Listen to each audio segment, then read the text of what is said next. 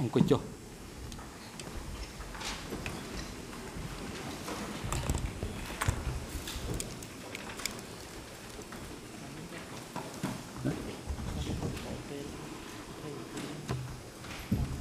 កន្លះម៉ោងអង្គជំរះប្រកាសបន្តកិច្ចដំណើរការនីតិវិធីសមនការ កាលពីព្រឹកមិញចុងម៉ោងកាលពីម្សិលមិញរសៀលចុងម៉ោងគឺដល់វិធីការរបស់ក្រមវិទ្យាការពីក្តីលោកអៀងសេរីក្នុងការមានឱកាសក្នុងការសួរដល់សាក់សីរូបនេះហើយពេលវេលានៅមាន1ម៉ោងទៀតដូច្នេះនៅពេលនេះអង្គសូមផ្ដល់វិធីការទៅក្រមវិទ្យាការពីក្តី លោកអៀងសេរីដើម្បីមានឱកាសនៅក្នុងការតាំងសំណួរចំពោះសាក់សីរូបនេះបន្តសូមអញ្ជើញ Uh, Good morning, Mr. President. Good morning, Your Honors. Good morning to everyone in and around the courtroom. Good morning, witness. និងអស់លោកលោកស្រីនៅក្នុងនេះនិងនៅក្រៅបន្ទប់សវនកម្មនិង Before we pick up where we left off yesterday, let me take you back to a series of questions that you were asked both by the Nunchia Defense and by myself concerning whether សំណួរដែលសួរពីខាង DC លោក Cam និងគ្រូ has ខ្ញុំផ្ទាល់ files ថា DC Cam on the accused. មានសំណុំរឿងម្ដុំម្ដុំជាក់លាក់សម្រាប់ជនជាប់ Yesterday, នីមួយៗ you indicated ទេកាលពីម្សិលមិញ that DC លោកបាន Cam លើកឡើង does not ថា have DC Cam such files. มันមានសំណុំ Do you ឯកសារ stand by that មួយដាច់ answer? ដោយឡែកដោយឡែកនេះទេតើលោកនៅតែរក្សាចម្លើយរបស់លោកដដែលដែរឬទេ បាទយើងមិនមានជាសំណុំរឿងសម្រាប់មេដឹកនាំមួយមួយទេ Thank you. Now, if we could look សូមអ up រគុណ uh, a particular document that was ដូច្នេះ provided ប្រសិនបើ by យើងមើលឯក DC សារមួយ Cam ជាក់លាក់ដែលផ្ដល់ជូនដោយ that មជ្ឈមណ្ឌល bears your ឯកសារ name កម្ពុជាឬក៏ DC We'll pull Cam it up right now.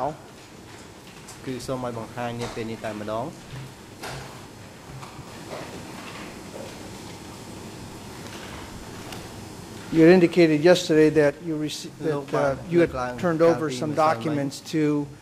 uh, DSS. I believe you said that either yesterday or the day before. And here I have three binders.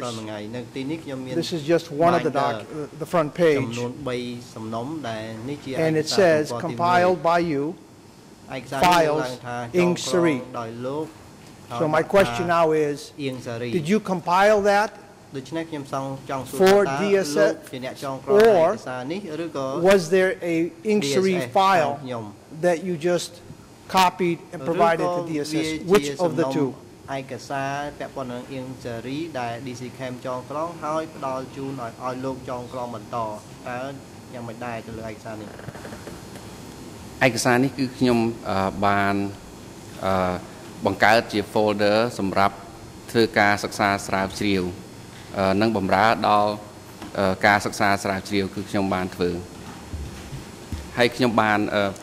ផ្ដល់ជូនឯកសារនេះជូនទៅដល់អង្គអឺទៅដល់អឺអង្គភាពអឺគាំពៀការពារក្តី And since you created Some this law. file, ដោយសារតែលោក do you ជា now អ្នក have a បង្កើត file សំណុំឯកសារនេះ that's particularly ដូច្នេះ or especially มันមាន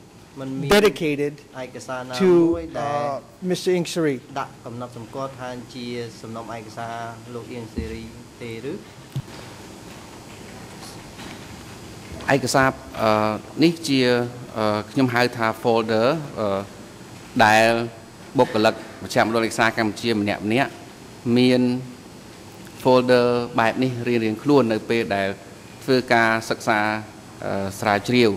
ដូច្នេះនៅពេលដែល អានឯកសារឬមានអ្នកអឺ request ឯកសារស្នើសុំឯកសារឲ្យតែយើងប្រទះឃើញបែបនេះ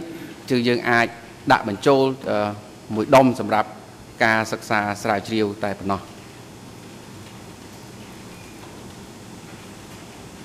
Okay, let, let me make sure I understand, because now you're ដូច្នេះ talking ខ្ញុំ about សូមបញ្ជាក់ folders. So are you suggesting that a folder is not a file, but basically would contain everything that one would expect in a file?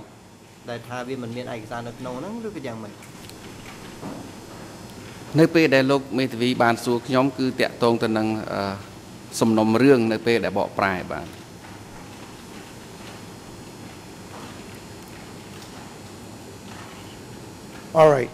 So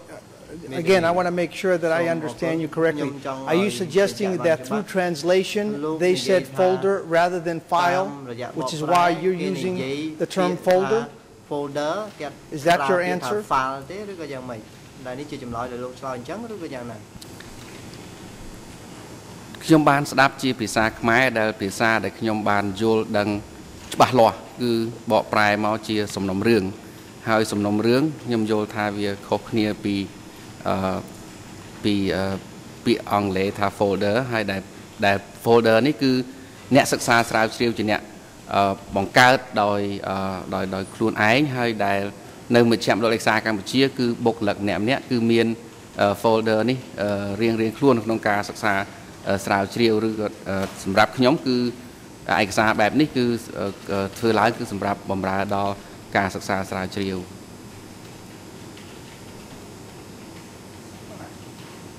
All right. So let me ask you one more time. Do you have folders on the individual accused, other than the one that we've just seen, created for Mr. Ingsari? Is there one for Nunchea, Kyusompon, Ingtarit? Yes, no, maybe, I don't know.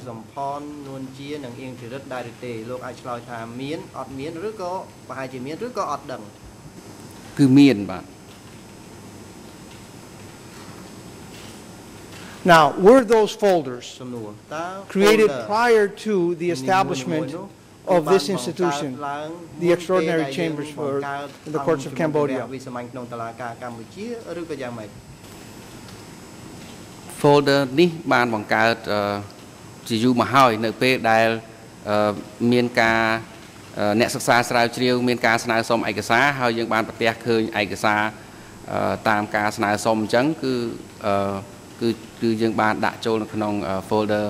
បែបនេះសម្រាប់បម្រើដល់ការសិក្សាស្រាវជ្រាវ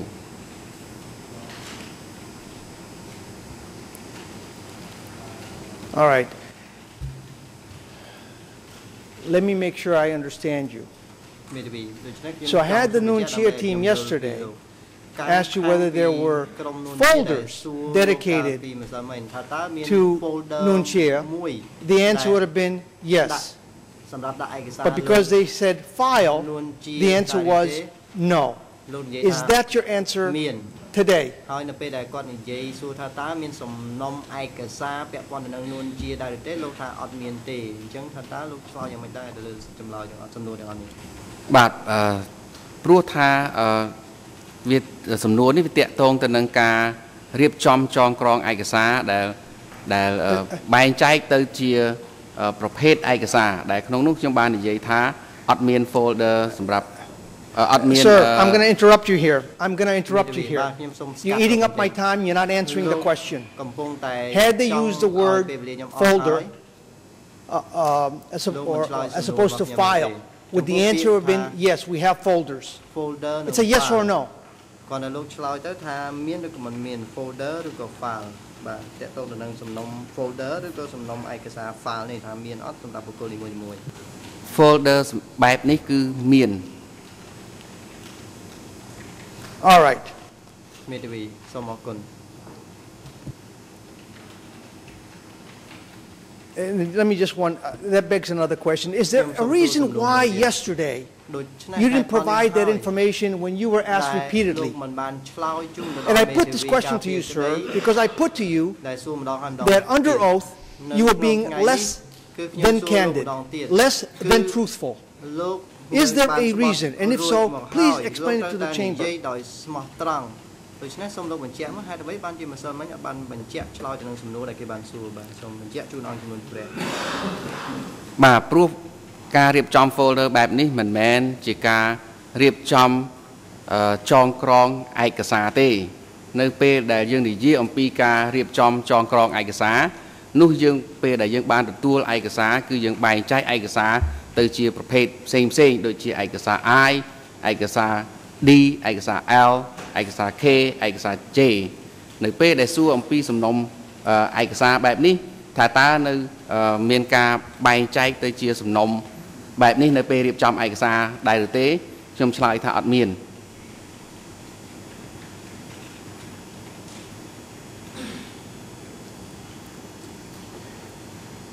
Perhaps we could look at D 312.2.15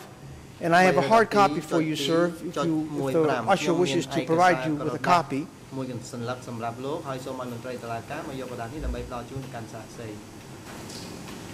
ไตรตุลากายอไอกตาเกียกดาปีมิตวี từ chung xã xây bình định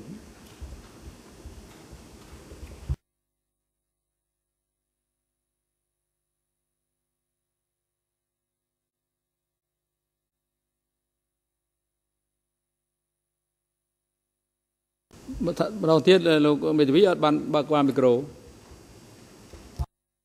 So, my apologies, my apologies, Your Honor. D312.2.15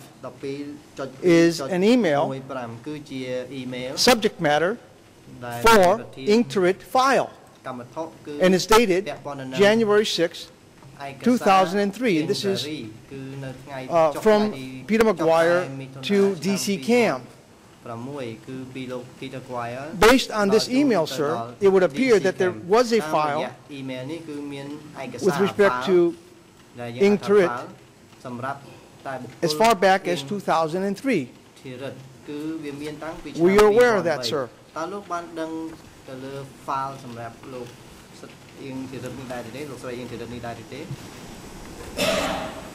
តើលោកបានដឹងទៅលើ file សម្រាប់លោកសិទ្ធអៀងធីរិតនេះដែរទេលោកស្រីអៀងធីរិតនេះដែរទេ ដូចខ្ញុំបានជម្រាបអឺហើយថានៅមជ្ឈមណ្ឌលឯកសារកម្ពុជា គឺយើងអឺអឺនៅក្នុងបុគ្គលិកម្នាក់ម្នាក់គឺមាន folder សម្រាប់ការសិក្សាស្រាវជ្រាវរៀងៗខ្លួនខ្ញុំឲ្យឧទាហរណ៍មួយដូចជាអឺ Farina ធ្វើការសិក្សាពីរឿង Sir, Uh, sir, you've, you've, you've already Maybe. told us Look, that. look, This is to Mark, DC Mark, Cam Mark. and it's to Uke. នេះគឺ Who is Uke? ឌីឯកសារនៅសម្រាប់ Referred to DC in this Cam particular ហើយ email. គេផ្ញើទៅកាន់យុ Is he some kind of staffer? តើ Or is he the គាត់ជានរណា director? គាត់ជាបុគ្គលិកឬក៏ជាប្រធានលោកមេធាវីអឺខ្ញុំសូមបញ្ជាក់លោកមេធាវីមិនបានសួរខ្ញុំពីសំណួរខាងដើមថាឯកសារនេះជាលោកយុគឆាំងឬក៏ជាយ៉ាងណាទេ តែដើម្បីឲ្យលោកយល់អំពីឯកសារនេះឲ្យបានច្បាស់លាស់ដាក់នៅចំពោះមុខខ្ញុំខ្ញុំត្រូវអឺឲ្យឧទាហរណ៍ដើម្បីឲ្យលោកមេធាវីបានងាយយល់នៅក្នុងការបង្កើត folder បែបនេះហើយថាតើហេតុអីបានជា Very well, Your Thank you. មេធាវីបាទល្អសូម Look at the document. សូមឲ្យលោកមើលឯកសារក្នុងដែលខ្ញុំផ្ដល់ Below you will see, គឺនៅខាង Dear ក្រោមគេ Uke, សរសេរថាជូនចំពោះលោកយុគ it's in English.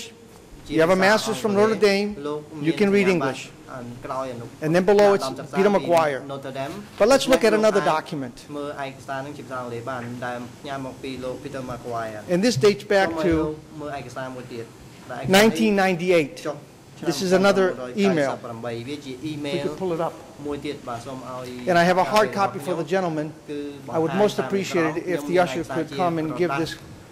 hard copy to the gentleman. Mr. President, with your permission. ស្ត្រីដូច្នេះខ្ញុំសូមអនុញ្ញាតពីលោកប្រធាន មន្ត្រីតុលាការយកឯកសារក្រដាស់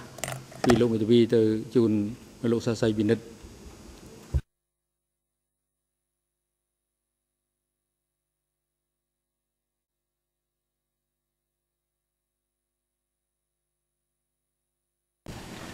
Let's walk through this document. ពីបាទខ្ញុំសូមឲ្យលោក It អាន says លោក at យ the ល់ទៅ top, លើឯកសារនេះ from នៅ Documentation Center, ខាងលើគេដាក់ថាពីមជ្ឈ To មណ្ឌលឯកសារកម្ពុជា Benedict ផ្ញើ Kiernan, ជូន CC, Benedict Cannon Helen Jarvis, ញាក់ចម្លង Subject, ជូន Helen Jarvis update, កម្មវត្ថុ files, ព័ត៌មាន Anuncia, ថ្មីថ្មី date, ពាក់ព័ន្ធនឹង Wednesday, file សម្រាប់លោក April Anuncia twenty-second, nineteen ninety-eight. គឺចុះថ្ងៃ Do you see that, sir? 22ខែមេសាឆ្នាំ1998លោកបានអានទេ It's a yes or no. ហើយតាមតនទេបាទ លោកឃើញទេបាទសូមឆ្លើយឬឃើញឬមិនឃើញមើលយល់ឬមិនយល់ខ្ញុំឃើញឯកសារនៅមុខខ្ញុំ Now, if you flip to the second មេ page, ធាវីបើសិនបើមើលទំព័រទី you would see 2លោក that នឹង it's ឃើញ signed ថា Yuki. ជាការចុះហត្ថលេខា Would that be ឈ្មោះបុគ្គល Yuk Yuki Chang? តើ Yuki នេះគឺជាយុគឆាងឬក៏ Is មិនមែន Yuki Yuk តើ Chang? Yuki នេះគឺជាយុគឆាងឬក៏មិនមែនអឺមែនជាអឺឈ្មោះរបស់លោកយុគឆាង Now, if we could look at the annotations, Maybe because because yesterday sometimes and the day jamna. before, you talked about annotations, you talked ម្សិល about មិញម្សិល having the ថ្ងៃលោកនិយាយ capacity ពី to ចំណា read តែ handwriting. លោកអាចយល់លោកអាច I've លោកបាន circled និយាយ it ថាលោក for your អាចយល់ benefit. អំ It's ពី way ចំ at the ណា top. ដូច្នេះប្រសិនបើយើងមើលទៅលើចំណាន Does it say,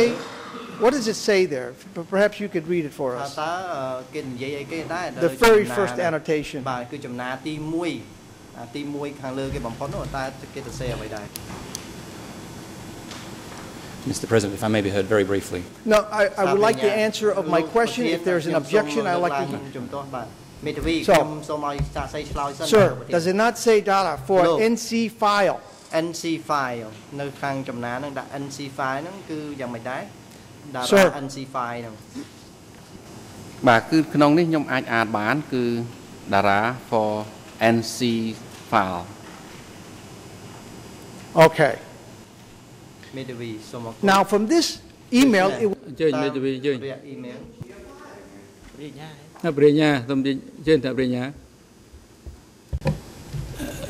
Just very briefly, Mr. President, I think uh, my learned friend indicated a D number for the previous document he showed, but not one for this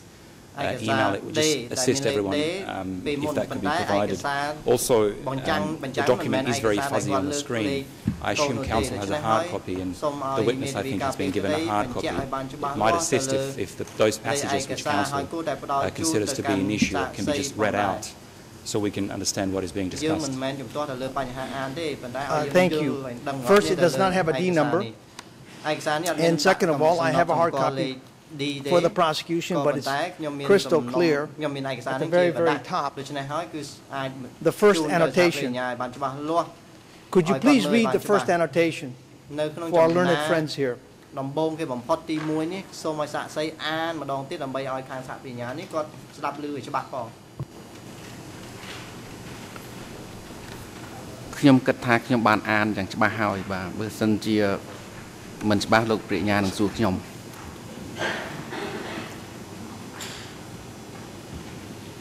Sir, I'm asking you to read it. លោក You don't get to ខ្ញុំ dictate សូម the rules ឲ្យ here. លោកលោកមិនមែនជាអ្នក So បង្ please គាប់ស្នើ read សុំមក for យើ the ងទេ prosecution's benefit. ខ្ញុំសូមឲ្យលោកអានដើម្បី What ជា does ប្រ it យោជន៍ say? ទៅដល់ខាងសហបញ្ញាតើ The ចំណា annotation. ដំបូងបំផុតនៅខាងលើបំផុតហ្នឹងតើគេទៅសេដែរសូមឲ្យអាន ចំណាមួយណាសូមបញ្ជាក់ឲ្យបានច្បាស់លាស់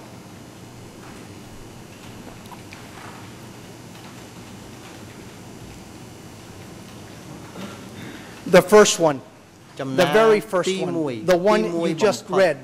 អ่ะមួយដែលលោកទើបតែបានអានអំបញ្ញមិញនេះ Keep in mind, you're under oath. បាទលោកចងចាំថាលោកបានស្បត់ធ្វើសម្បត្តិរួចហើយ បាទខ្ញុំបានអានម្ដងរួចហើយជូនលោកអឺអឺអឺមេធាវីបាទ Mr. President, would you direct the witness លោក to ប្រធា read? នសូមឲ្យបង្គាប់ទៅដល់សាកសី Because there's a series of ឲ្យអាន questions. ចំណាដែលគាត់អានអំបញ្ញ I'm មិញនេះ entitled ឡើងវិញ to have him read, especially គឺ in ខ្ញុំ light of the ជាមេធាវីមាន prosecution's សិទ្ធិ uh, ឲ្យ objection. Unless the prosecution wishes to concede what it says, and this is the gentleman that is referred to in that annotation. And I'll accept that concession from the prosecution. If I may, Mr. President.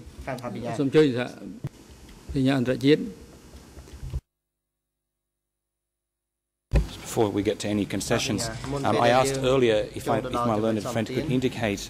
um, and ask the witness to read the lines. there, there is a difficulty with uh, deciphering the dates, the senders and the receivers. Uh, on this email, if, if, I'm reading it correctly, it appears to be dated 1998. I think this sort of information is relevant. The witness should be asked to read who the email is from, who it is sent to, when it is dated, and then we have no objection to him being asked to read the, annotation as well. But the document is not on the case file, and we're being asked to read an annotation on a document which, frankly, none of us have ever seen before. And I think it would be proper to, to proceed in the. Uh, Your Honor, I do have a copy for my learned friend. The, the usher wishes to ប្រធា give នគឺ him, ខ្ញុំមាន I ឯ did កសារនេះ read. ជាក្រដាស់មួយសន្លឹកសម្រាប់ but perhaps the gentleman could be asked to ខ្ញុំ read បានអាន from the រួចមក very ហើយ top. បាយមិញដូច្នេះហើយគឺជាងខ្ញុំសូមបង្គា up ប់ until ឲ្យ the point where it សាកសី says, Dear Ben. អានពីលើរហូតមកដល់ចំណុច Sir. ដែលថាជូនចំពោះលោក Ben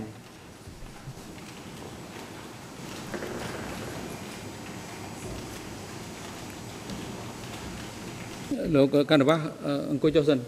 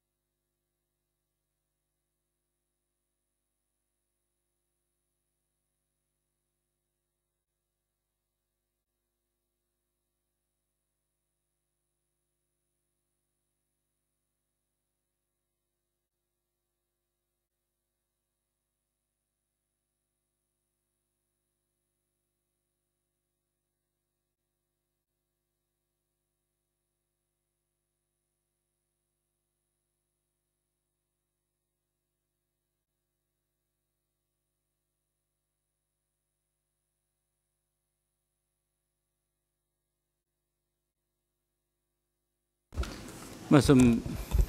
គល់ភិរៈទៅលោកស្រីចក្រមសិវលខាត់រៃដើម្បីសួរនាំអំពីបញ្ហាឯកសារនេះទៅមេធាវីការពារក្តីអន្តរជាតិការពារអ៊ីងតរី Thank you, President. Uh, Mr. Carnivus, we may be coming up against a clash of legal systems here, uh, but um, uh,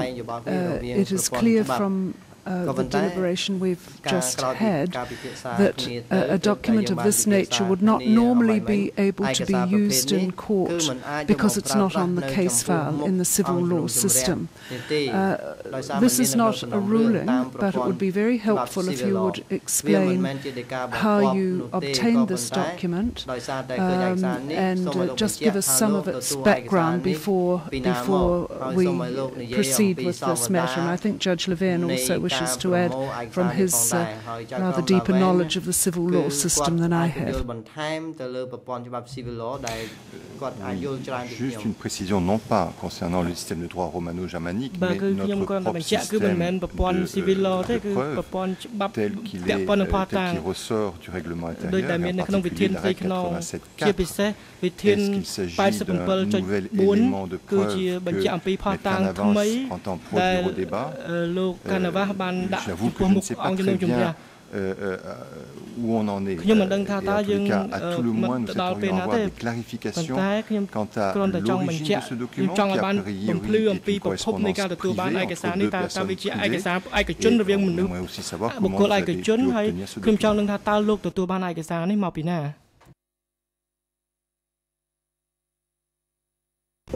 Uh, thank you, Mr. President. Thank you, Your Honors. Um, I can explain very briefly. Uh, this is a new piece of evidence that came, came to our attention yesterday, late afternoon. Uh, therefore, there was no time to put it on, on the case file. Upon looking at it, obviously uh, we realized that there's vital information that is, even though it's old and it may be private communications, it goes to impeach the gentleman's uh, credibility. It directly contradicts what he said yesterday, that there was no file. Today he used folder. We can clearly see here that there's talking about a file. Uh, there's handwriting which he recognizes. folder ដែលមានទៅវិញយើងឃើញមានអក្សរសំណេរដែលគាត់ស្គាល់ very late ដូច្នេះហើយឯកសារនេះគឺជាឯកសារដែលរកឃើញ This is something that I suspect is going to occur throughout the course of the proceedings ហើយវាបានបញ្ហានេះវាកើតឡើងនៅក្នុង នីតិវិធីរបស់យើង outside the file as well. And we believe that we're entitled to for material that's outside the file, especially if the purpose of this, tri uh, of this trial, based on the civil law system, is to get as close to the truth as possible. And so we, we should not be limited uh, to just what is in the file. But yesterday we, we received it, it was after the hours, and that's the best explanation I យើងការពិសិលមិញទើបតែរកឃើញទើបយើងដាក់ជូន um, uh, regrettably um, um, uh, not in a position to because of part of the understanding of receiving this piece of information was that I would not divulge uh, the source. But I can certainly say that I certainly did not do anything that was improper it came my way ធ្វើឡើងនេះគឺមិនមែនថាវាមិនត្រឹមត្រូវមិនសមស្របនោះទេគឺឯកសារនេះវាលេចចេញបង្ហាញខ្ញុំឃើញដូច្នេះទើបខ្ញុំទទួលបានហើយខ្ញុំប្រមូលឯកសារនេះយកមកបានសូមអរគុណនិយាយដំណើរថាបរិញ្ញា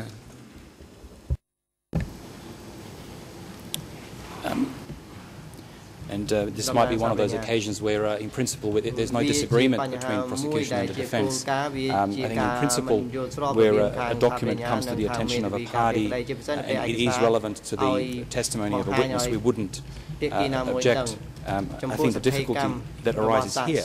is that this document um, goes back some time and it, we're not sure, it doesn't look like it was authored by this witness, it doesn't look uh, the, the, like it was addressed to him. There's an annotation that may suggest uh, that may include his name. And that's why we're suggesting that we first need to all have hard copies of this document. It needs to be read uh, onto the record, uh, and then perhaps the witness can be asked to comment. Our, our objection is more perhaps of the style that my friend was adopting, I think it had a tendency to just make it a bit more difficult for us to understand the circumstances and the relevance of the document. ខ្ញុំដឹងអំពីកលៈទេសៈដែលលំបាកសម្រាប់ការប្រមូលឯកសារនេះអញ្ជើញអញ្ជើញមេធាវីការពារតំណាង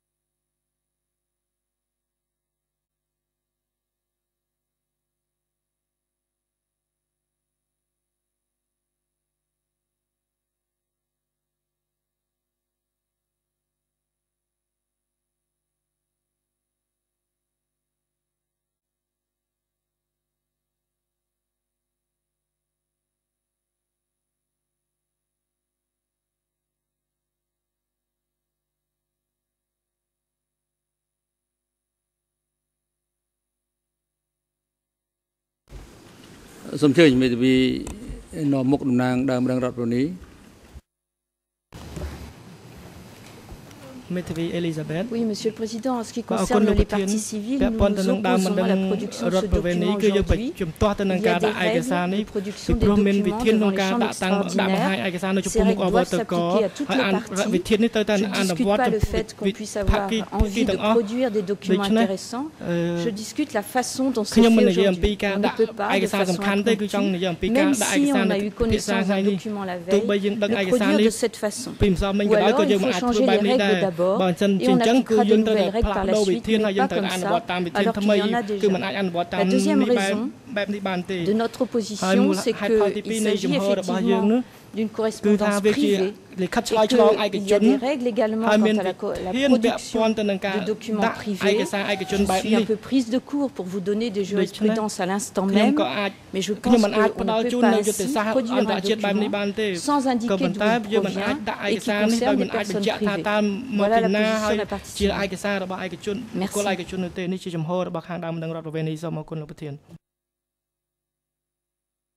If I may be heard on the matter, uh, Your Honors, from the very top, and I do have extra copies, it says from Documentation Center of Cambodia. The gentleman is here on behalf of the Documentation Center of Cambodia. It's from Ben Kiernan.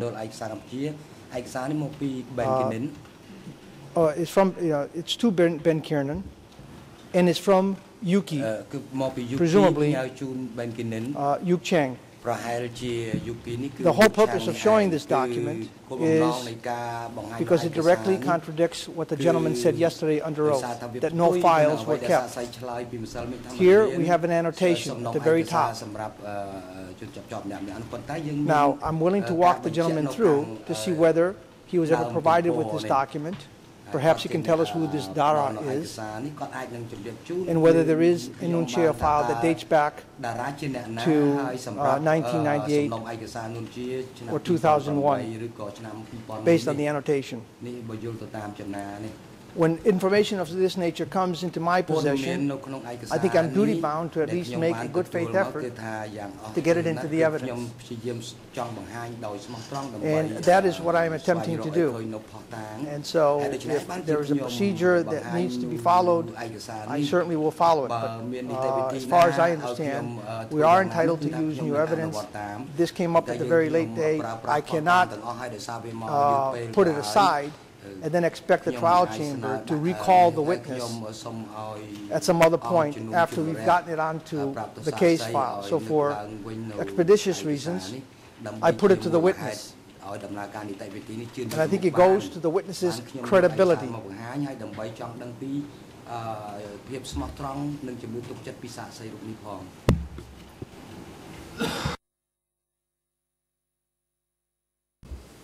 បាទឥឡូវនេះការជំទាស់របស់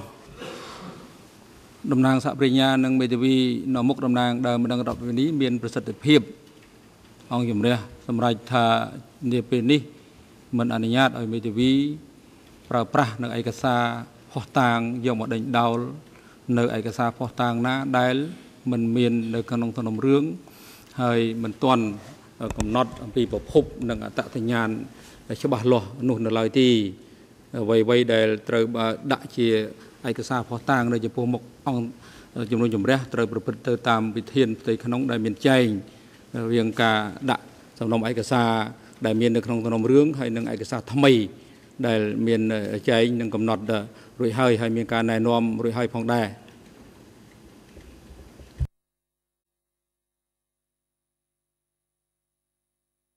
Uh, Thank you very much, Mr. President. We will be moving to have this admitted into the file, and perhaps uh, the issue will come up again with Mr. Yu Chang when he does testify, as you have indicated. And I fully understand and appreciate uh, uh, the trial chamber's ruling. Uh, let me move on to the next topic just very briefly, because yesterday we had a discussion concerning analysis. And then uh, I believe you indicated that you don't analyze, but you assess. And for that, I want to give you another opportunity to see perhaps uh, whether you wish to correct your your testimony from yesterday and the day before, if we could look at uh, D2-15 0.7, and I have an extra copy for the gentleman, so he could uh, follow along in hard copy if that's necessary. And in particular, uh, we only have this in, in English, Your Honors. Uh, the air number is 0071971. That's the particular page that I wish to make reference to. This document is cited in the closing order. In paragraph 91, footnote 259. It's also on the Office of the Prosecution list as E109 stroke 4.19. So if the gentleman could look at this document, and it might be easier for the, for the gentleman to have the hard copy, Your Honors The usher could possibly provide a hard copy to the witness. មន្ត្រីតុលាការទទួលឯកសារពីមេធាវីទៅជូនសាក្សី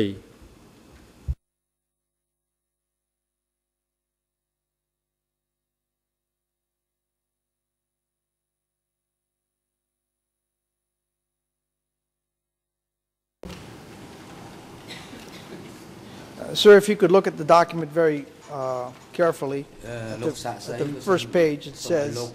November 14, 2006. Would you agree with me that this was generated by DC Cam?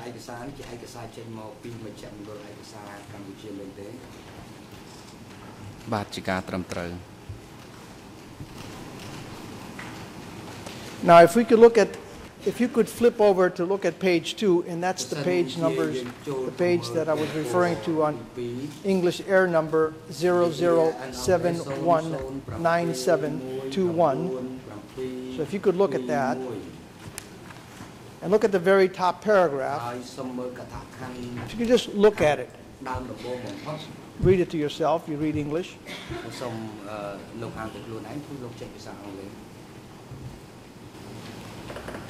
ដោយសារថាខ្ញុំជឿជាក់លើភាសាខ្មែរដែលជាភាសាកំណើតរបស់ខ្ញុំបានច្បាស់នឹងនឹងសុក្រិតនោះខ្ញុំស្នើសុំឲ្យមានការបកប្រែជាភាសាខ្មែរជាជាងបាទ All right. Uh, we don't have a Khmer translation, but let me put it to you this way.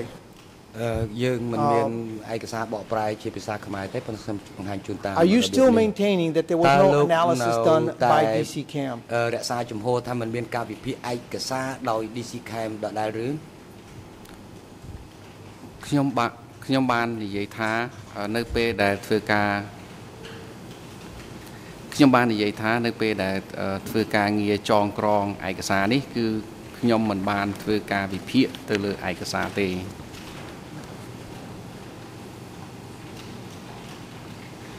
All right, so you don't do any analysis. ដូច្នេះមានន័យថាលោកមិនបានធ្វើការវិភាគឯកសារទេមែនទេខ្ញុំសូមបញ្ជាក់ម្ដងទៀតគឺនៅពេលដែលចងក្រងឯកសាររៀបចំឯកសារ No it's a just a yes or no it's a just a yes or no Do you analyze documents yes or no បាទឬក៏ទេតែប៉ុណ្្នឹងទៅបានហើយដើម្បីឲ្យបាទជំរាបប្រសាសន៍លោកមេធាវីដើម្បីឲ្យបានលោកជ្រាបច្បាស់ខ្ញុំសូមឆ្លើយតាមអ្វីដែលខ្ញុំគិតថា ចម្លើយនេះនឹងច្បាស់ជូនទៅលោកបាទ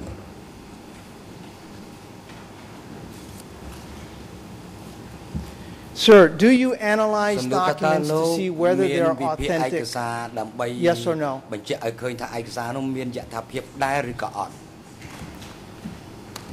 ចំពោះការធ្វើយថាភាពលើឯកសារខ្ញុំមិនបានធ្វើការវិភាគទេ Now, when you say we, does that include you too, sir? That you conducted no analysis on the authentication? យើងនឹងគឺរួមទាំងលោកនឹងផងដែរឬក៏អត់នៅពេលដែលចាប់ផ្ដើមសម្រាប់អំពីបញ្ហាយថាភាពនេះប្រើពាក្យយើងគឺខ្ញុំបានជម្រាបពីខាងដើមថានៅក្នុងការចងក្រងឯកសារនេះមិនមែនមានតែខ្ញុំម្នាក់ឯងទេ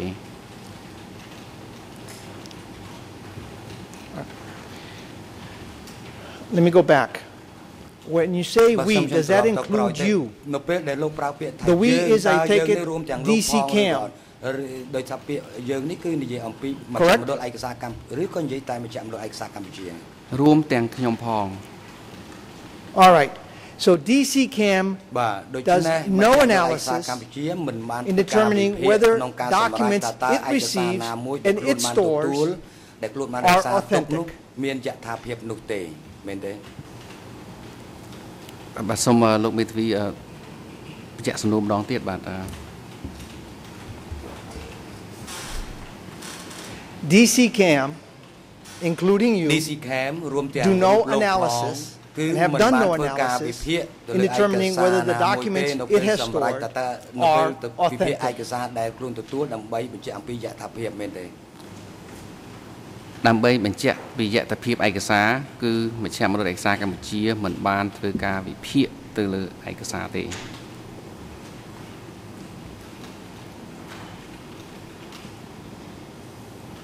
And would it be fair to say that having conducted no analysis on the authenticity of the document, DCCAM also did not conduct an analysis on the reliability of the documents? គួរឲ្យទុកចិត្តបានលើឯក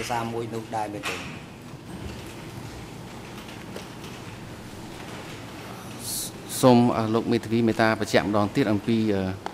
ពីសំណួរមួយនេះបាទសូមសូមមេតាបញ្ជាក់ម្ដងទៀតបាទ As a lawyer having been trained as a lawyer and with a master's degree do you know the difference between authenticity and reliability អ្នកច្បាប់លោកមានការវិភាគទៅលើភាពគួរឲ្យទុកចិត្តបានដែរឬទេចំពោះឯកសារនោះមួយដែរឬទេអឺ បើសិនជាខ្ញុំអាចសួរបញ្ជាក់បានថាតើតកតងទៅនឹងការងារនៅមជ្ឈមណ្ឌលវិសាកម្ពុជាឬក៏តកតងទៅនឹងការរៀនសូត្រផ្នែកច្បាប់របស់ខ្ញុំបាទ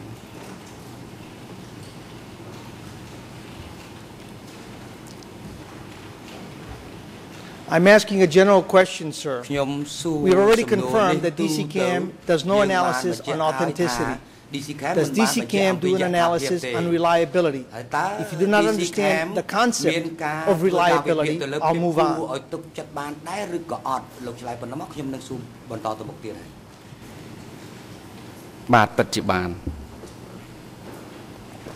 Okay, so does DCCAM do an analysis on the reliability of all the documents it has received? បាទមានធ្វើ Now you say some analysis does that mean with all of the documents និយាយថាមានការធ្វើការវិភាគខ្លះខ្លះគឺវិភាគខ្លះឬក៏វិភាគទាំងឯកសារទាំងអស់តែម្ដងខ្ញុំបាននិយាយអំពីការធ្វើការវិតម្លៃមិនមែនធ្វើការវិភាគនៅក្នុងការធ្វើយត្តភាពឯកសារទេ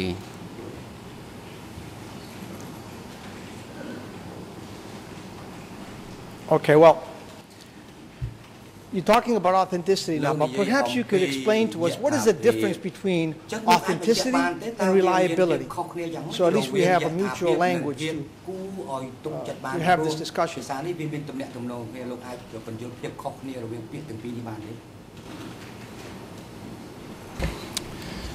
Mr. President, we, we prosecution objects to this question. Um, the, the, witness is not called to testify on his expertise from a legal perspective as to the difference between authenticity and reliability. It's perfectly appropriate to ask him about what processes DCCAM may have undertaken, but let the gentleman describe a process or, or give an outline of a process and then ask the witness if that type of a process has taken place. Um, I don't think the question is appropriate. Uh, Mr. President, if I may briefly respond, the reason I posed the question in the manner in which I did was because there, we seem to be uh, either something is being lost in translation or there must be some sort of miscommunication in terms. Perhaps the gentleman thinks that authenticity and reliability are one in and of themselves. If that's the case, he can tell us. But he's here from DCCAM to discuss the methodologies and modalities used by DCCAM. Now, if the gentleman doesn't know, I'll move on. It is not my intention to embarrass the gentleman uh, or to quiz him on his legal knowledge on the difference of reliability versus authenticity. នោះទេខ្ញុំសួរគ្រាន់តែពាក់ព័ន្ធទៅនឹងពាក្យយថាភាពនិងភាពគួរឲ្យទុកចិត្តបានតែប៉ុណ្ណោះបាទការជំទាស់របស់សហប្រេងអាញាគឺត្រឹមត្រូវហើយអង្គជំនះសូមជម្រាបជូនទៅមេធាវីថា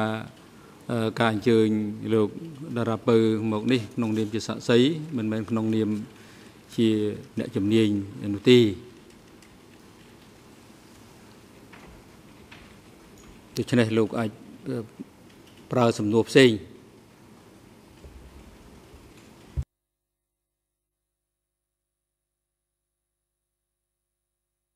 Thank you, Mr. President. Let's go back to where we left off yesterday. We were talking about the National Archives. Can you please describe to us what អាច DC Cam learned from the National Archives as to the criteria it used in determining the authenticity of the documents that it collected or came into its possession?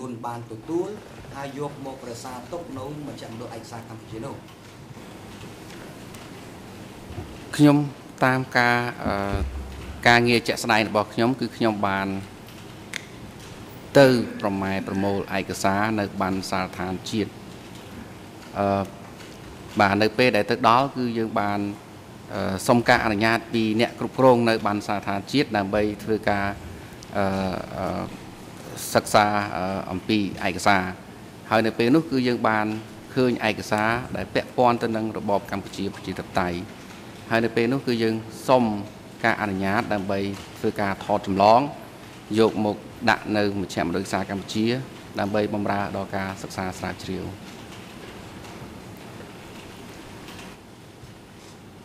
Uh, thank you, sir. So if I understand your question, your answer, DCCAM, including you, do not ask and have not asked the National Archives as to how they came into the possession of these documents, where they found them, who turned them over, where they, they had been. Those sorts of questions were never ever asked by DC Cam. Correct? ខ្ញុំពិតជាបានសួរទៅអ្នកគ្រប់គ្រងបានសាបានបានសាជាតិហើយបើសិនជា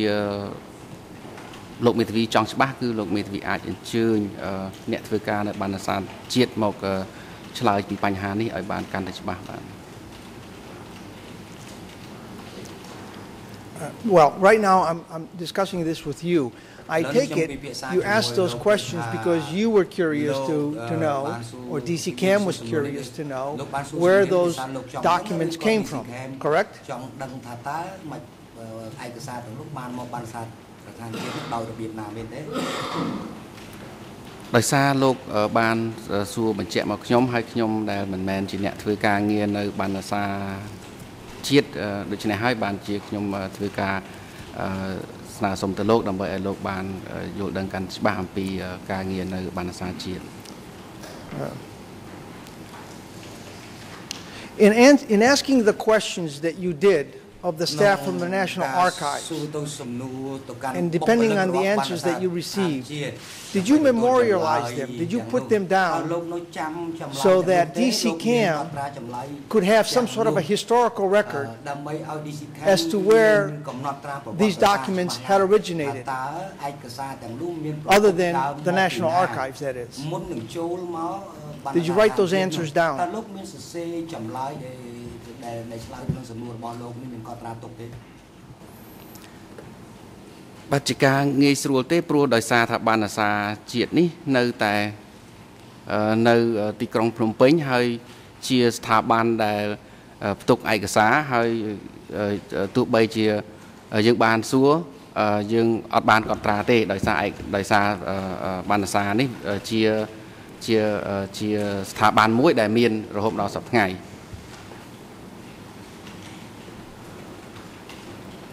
So if I understand you correctly, if I understand you correctly, DC Cam never never received any information or never bothered to ask for any information as to how the National Archives came about these documents that it has stored.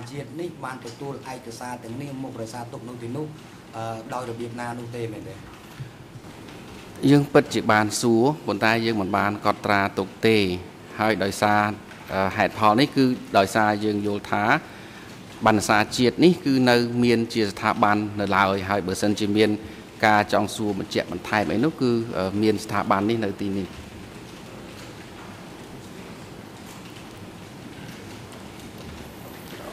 All right, so if we wanted, say, a chain of custody as to how they came into, uh, into your possession, into DC Camp's possession, we would, especially to determine authenticity of the documents, we probably would have to ask someone from the National Archive. That's what you're telling us.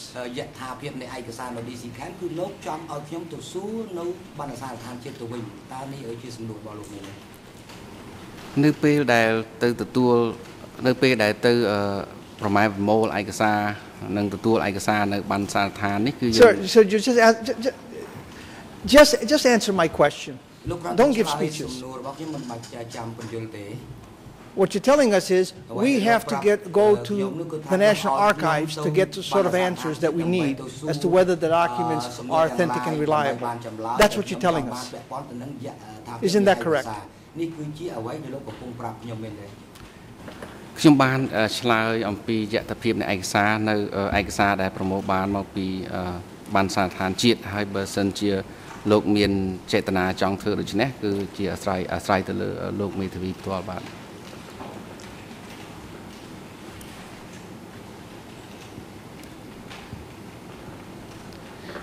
Now, you also received, DC Cam also received documents from other individuals that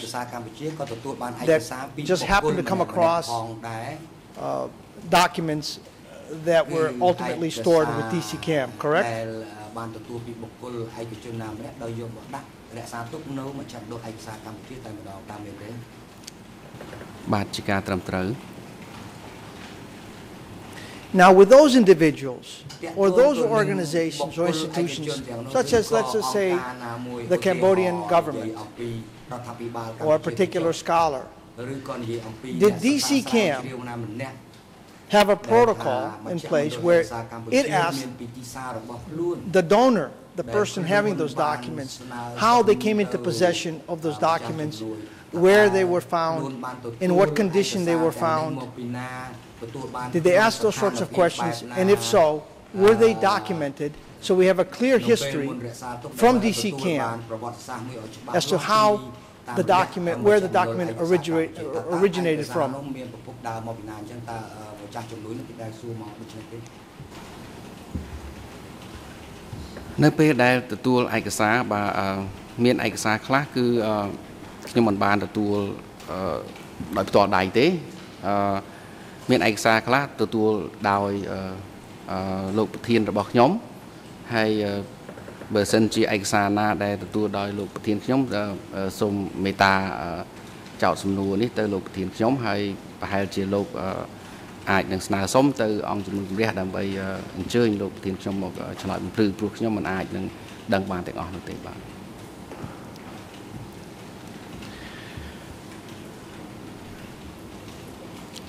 All right, so help me out here. what you're telling me is, if I understand you correctly, there's no protocol set in place so that whoever receives the document would go through a list, a litany of questions that would establish the chain of custody of the documents.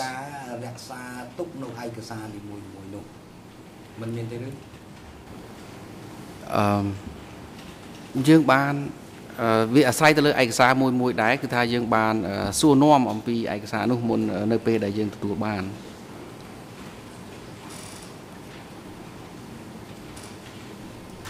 All right. So let's talk about you.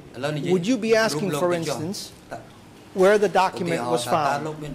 Yes or no? ឯកសារទាំងនេះអ្នកឯងឬក៏រកឃើញបានមកពីណាលោកមានបានសួរអញ្ចឹងទេអឺចំ ខ្ញុំឆ្លើយចំពោះដែលឯកសារដែលខ្ញុំបានទទួលគឺជាពិសេសគឺនៅបណ្ណសារជាតិឬក៏នៅទួលស្លែងខ្ញុំបានសួរសំណួរនេះហើយចម្លើយគឺថាអ្នកដែលឆ្លើយក៏អត់ដឹងដែរបាទខ្ញុំបានចម្លើយអញ្ចឹង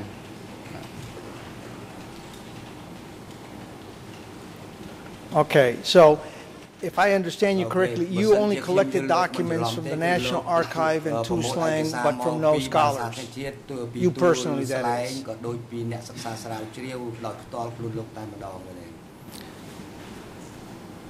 ចំពោះអឺឯកសារដែលទទួលបានពីអ្នកស្រាវជ្រាវនេះគឺភាគច្រើនគឺលោកប្រធានរបស់ខ្ញុំគាត់ទទួលបានគាត់មានទំនាក់ទំនងបាទ Did you yourself receive any documents from any scholars? It's a yes or no, or I can't remember.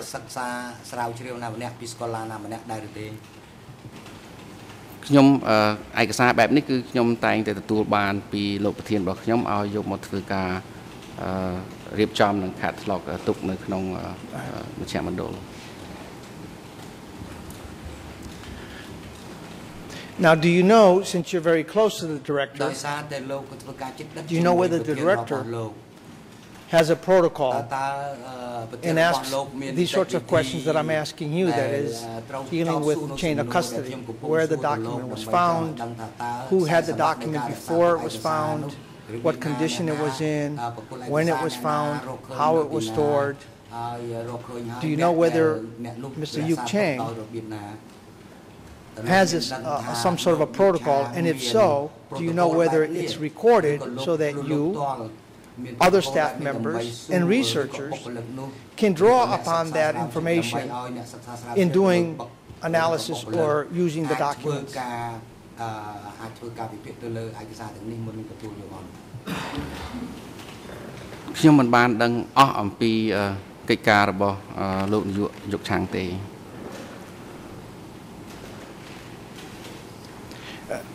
ខ្ញុំមិនបានដឹងអស់អំពីកិច្ចការរបស់លោកនាយកយុកឆាងទេ So does that mean that you are unaware of whether he has a particular protocol?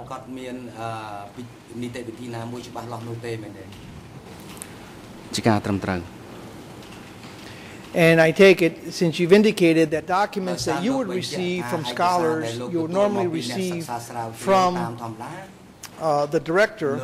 when you receive those documents, are there any annotations or any notes affixed to the, the file or folder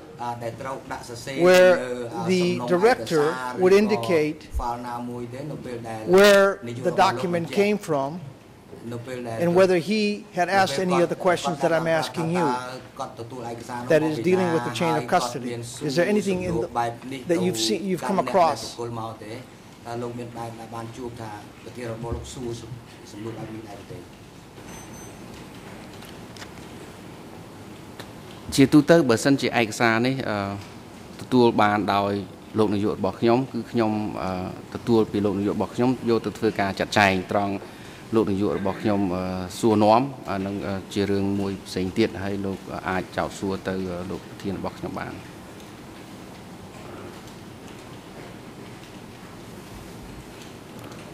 All right, but I just want to make sure that we have a clear answer. Assuming the director would ask this, the sort of questions that I'm asking you,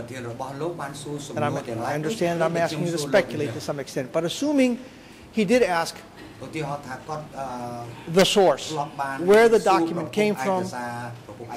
where it was found, when it was found, in what condition it was found, would the director be obligated to put that sort of information, to collect that information and attach it to the document so that others, such as yourself and researchers, would have that information?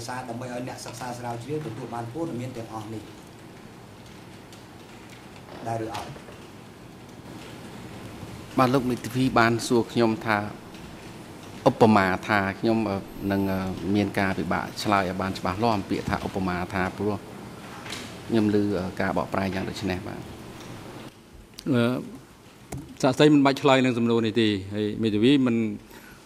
អាចប្រើសំណួរឧបមាឧបមាវិធីមកតាំងសំណួរចំពោះសាក់សីបានទេបញ្ហានេះអង្គជំរាបបានរំលឹកតាំងពីដំបូងនៅក្នុងចាប់ផ្ដើមកិច្ចដំណើរការសមនាការគឺ បានរំលឹកអំពីការហាម5មិនឲ្យប្រើប្រាស់នៅការតាំងសំណួរមួយចំនួនសំណួរត្រួតគ្នាសំណួរដឹកមុខហើយសំណួរឧបមាវិធីជាដើម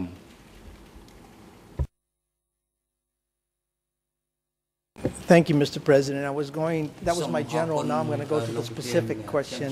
Do you yourself ask those sorts of questions when documents come your way from scholars? And if so, would you make that part of the file so that whoever wishes to use those documents would have a record and DC Cam would have a record as to where the documents were found, in what condition, when, and so on and so forth.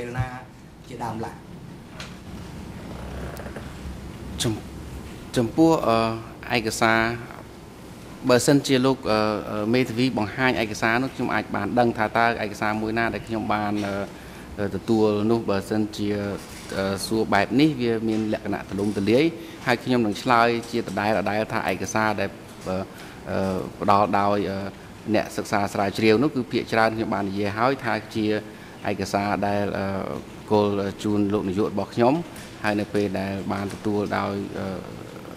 ឯកសារនោះហើយគឺលោកនាយករបស់ខ្ញុំបានប្រកល់ជូនខ្ញុំឲ្យធ្វើការចាត់ចែងចុះលេខនឹងទុកដាក់បាទ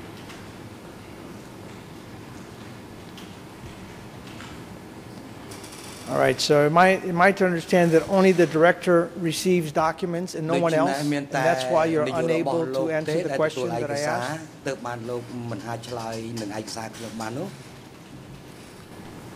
គឺខ្ញុំនិយាយអំពីឯកសារដែលប្រកល់ដោយអ្នកសិក្សាស្រាវជ្រាវដែលលោកបានសួរខ្ញុំអំពីឯកសារបែបនេះ All right and my question is ដូច្នេះខ្ញុំចង់សួរថា If a scholar were to provide you with a document Well let me back up Has a scholar ever provided you with a document Or is it your testimony that only Mr. Yu Cheng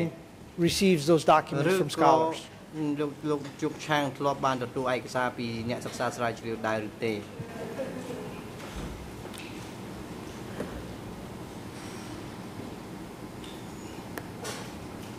ជាដដែលលោកបានសួរខ្ញុំថាតើលោកយុគឆាងដែលទទួលបានឯកសារពីអ្នកស្រាវជ្រាវដែរឬទេ តើខ្ញុំសូមបញ្ជាក់សំណួរនេះតើជាសំណួរដែលលោកចៅសួរអញ្ចឹងឬបាទអញ្ចឹងក៏សូម No No I'm asking whether you have received documents from scholars? Have you ever received documents from scholars? ធ្លាប់ទទួលឯកសារពីអ្នកសិក្សាស្រាវជ្រាវដែរឬទេខ្ញុំមិនធ្លាប់បានទទួលឯកសារ ផ្ទាល់ដៃពីអ្នកសិក្សាស្រាវជ្រាវទេ And to the best of your knowledge, just to make sure that we have a clear answer, to the best of your knowledge, there are there's no protocol set in place to ask the sort of chain of custody questions that I asked when documents are received from various sources such as scholars. មកពីប្រភពផ្សេងផ្សេងដូចជាទទួលមកពីអ្នកសិក្សាស្រាវជ្រាវជាដើមតើមែនដែរឬទេអ្នកដែលទទួលឯកសារបែបនេះបើតាមខ្ញុំអាចយល់បាន គឺបានសួរបាទ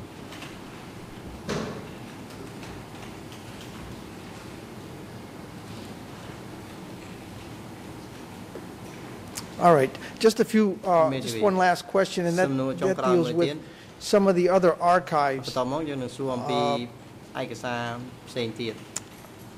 with respect to the government, uh, you indicated that the documents came from the, doc, from the government.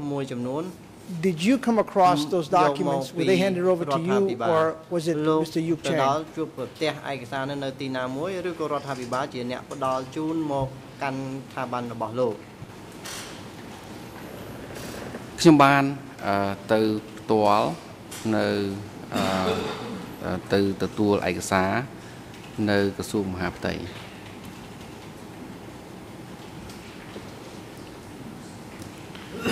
All right, when you went there in person to receive the documents, did the government actually allow you, much like the National Archive,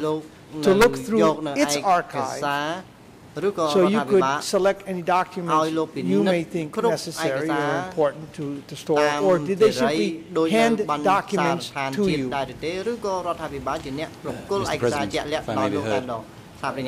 We would object to this question. I don't see the relevance of this question. Whether or not the government provided and how it provided the documents. I think the witnesses testified that they had access to both the Ministry of Interior and the National Archives. The method of third parties is not relevant. The prison services. If I may be heard, uh, Mr. President. Having access to the National Archive is one thing. He's indicated that he went over to collect the documents or to be handed over the documents. My question was whether the government or members of the government provided uh, him access with their archives. And that could be the prime minister, it could be other ministers. As I, indic- as I believe, there was some testimony that came out that some documents came from Mr. Hun Sen himself or the prime minister's office. មួយចំនួននោះគឺអឺផ្ដល់ជូន I- may have it wrong. But we're entitled to explore this, especially since they've indicated that they're impartial and independent. And we wish to test this part of their credibility, whether this is an independent and impartial uh, organization.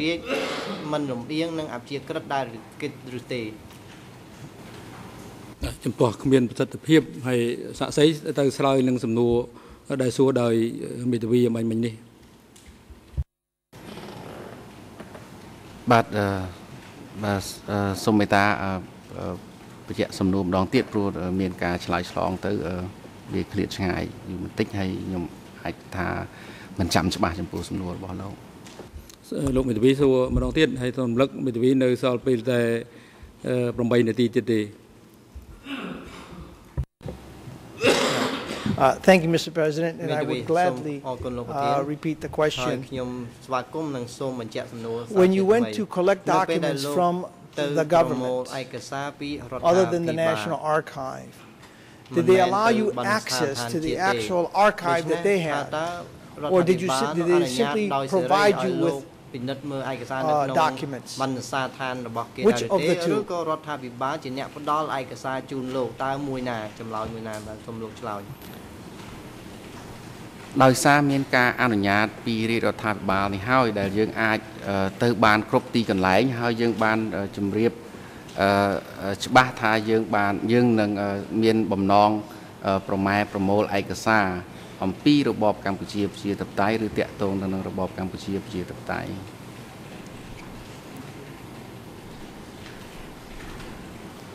All right មេធាវីសូមអរគុណ were efforts made to តើមានការព្យាយាម to go into the archives ចូលទៅបណ្ណសារ of the king to see what documents that he may have relevant to the period that might be useful either for the prosecution or for the defense. Object to this question, uh, Mr. President. Um, DCCAM wasn't tasked to investigate uh, the alleged crimes on behalf of the court, prosecution, or the co-investigating judges. Um, there was, of course, a long wide-ranging investigation. Um, perhaps the, the witness can be asked which archives they've had access to or which archives they've obtained documents from. But certainly the suggestion, the implicit suggestion that they were looking for documents in support of the ECCC, I don't think stands. Uh, Mr. President, if I may be heard, there was no insinuation that they were actually there hunting for uh, and investigating for one side or the other. However, the prosecution did indicate in part of their questioning, or they did raise the issue of archives from the king. At which point we were told that they were online. Now I'll reframe the, rephrase the question to ask them whether they made an effort, and if so, what effort did they make to get actual access to the king's archive មានការព្យាយាមដើម្បីទៅរកមើលឯកសារនៅក្នុងបណ្ណសារឋានរបស់ព្រះមហាក្សត្រដែរឬទេជំទាស់របស់សហប្រញ្ញាគ្មានប្រសិទ្ធភាពហើយសាក់សីឆ្លើយនឹងសំណួរដែលសួរដោយមេធាវី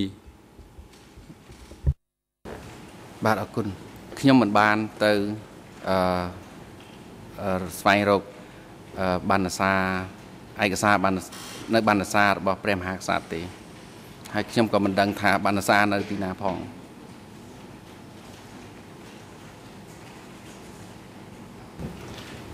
was a request ever made? Because I believe you indicated that it was online, but then not accessible. Was a request ever made, to your knowledge, by DC Cam to get access to the King's archive? If you don't know, just tell us. ខ្ញុំមិនដឹងទេ Do you know whether efforts were made to go, get into the archives of foreign governments such as the United States, Vietnam, China, or others. រដ្ឋាភិបាលដូចជាស្ថានទូតរបស់អាមេរិកវៀតណាមចិនដែរទេខ្ញុំគ្រាន់តែដឹងថាអឺអឺលោកនាយកមជ្ឈមណ្ឌលឯកសារកម្ពុជាបានធ្វើលិខិតជាការអំពាវនាវដល់ ប្រទេសទាំងឡាយណា បើសិនជាមានឯកសារតាក់ទងទៅនឹងរបបកម្ពុជាប្រជាធិបតេយ្យឬក៏អំពីរបបកម្ពុជាប្រជាធិបតេយ្យនេះសូមផ្ញើមកឲ្យអឺសូមផ្ដល់មកឲ្យមជ្ឈមណ្ឌលឯកសារកម្ពុជាឬក៏ផ្ដល់ឲ្យអង្គជំនុំជម្រះវិសម័យក្នុងតុលាការកម្ពុជា ហើយបើបើសិនជាខ្ញុំចាំបានច្បាស់នោះគឺថាលិខិតហ្នឹងចេញនៅក្នុងឆ្នាំ2005 And do you know what the result of those letters were from say the United States China ដែលចេញលិខិតនេះបញ្ជូនទៅដល់រដ្ឋាភិបាលអាមេរិកចិននិងវៀតណាមនោះតើមានលទ្ធផលអីឆ្លើយតបដែរឬទេខ្ញុំមិនបានដឹងថាតើនេះជាមិនមែនជាលិខិតដែលផ្ញើគឺជាការអំពាវនាវហើយខ្ញុំមិនបានដឹងថាតើការអំពាវនាវនេះឬក៏លិខិតនេះបានទៅដល់ប្រទេសណាខ្លះទេខ្ញុំមិនដឹងទេ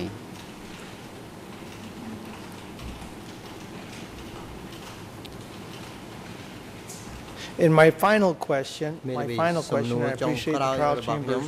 indulgence. Uh, do you know whether, whether Mr. Yu Chang, on behalf of, of uh, DC Cam, appealed to the government of Cambodia to urge these other governments, the United States, Vietnam, China, to cooperate and open up their archives for the benefit of DCCAM and others who wish to do research on this area បណ្ណសារឋានរបស់ខ្លួនដើម្បីឲ្យ DCCAM នេះចូលទៅស្រាវជ្រាវព័ត៌មាននៅក្នុងនោះដែរឬទេជាថ្មីម្ដងទៀតគឺស្នើសុំលោកមេធាវីសួរផ្ទាល់ទៅលោកនាយកឆាំងយុតែម្ដងទៅបាទ Uh, thank you very much, sir. Your honors, thank you very, very much. Uh, សូមអរគុណអង្គជំនុំជម្រះក្រុមប្រឹក្សាជំនុំជម្រះខ្ញុំសូមអរគុណដែលបានផ្ដល់នាទីឲ្យខ្ញុំមួយមួយឬក៏ពីរ3នាទីបន្ថែមទៀតនេះសូមអរគុណច្រើនអរគុណលោកវិទ្វីហើយជាកិច្ចបន្តអង្គជំរះសូមផ្ដល់វេទិកាទៅក្រមវិទ្វីការពារក្តីលោកខៀវសំផនដើម្បីមានឱកាសនៅក្នុងការតាំងសំណួរចំពោះសាក់សីរូបនេះ ប្រសិនបើមានសូមអញ្ជើញលោកប្រធានដោយសារពេលវេលារបស់យើងនេះហើយតើអាចសម្រាប់សិនឬក៏យ៉ាងម៉េចបាទបន្តការសួរទៅ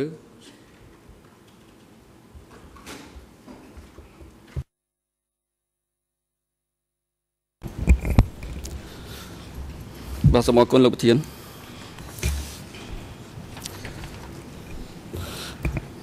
ខ្ញុំបាទអឺសូមគោរពក្រុមប្រឹក្សាជំនុំជម្រះហើយតទៅនេះខ្ញុំបាទសូមតាំងសំណួរចំពោះសាក់សីជាបឋមសូមជម្រាបសួរលោក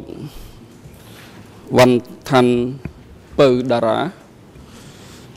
តើខ្ញុំអាចហៅលោកថាជាលោកតារាឬក៏លោកពៅតារាបាទចំពោះឈ្មោះមួយណាក៏បានបាទបាទ អញ្ចឹងខ្ញុំបាទសូមហៅលោកថាលោកតារាហើយខ្ញុំនឹងសូមសួរអំពីប្រវត្តិរបស់លោកខ្លះ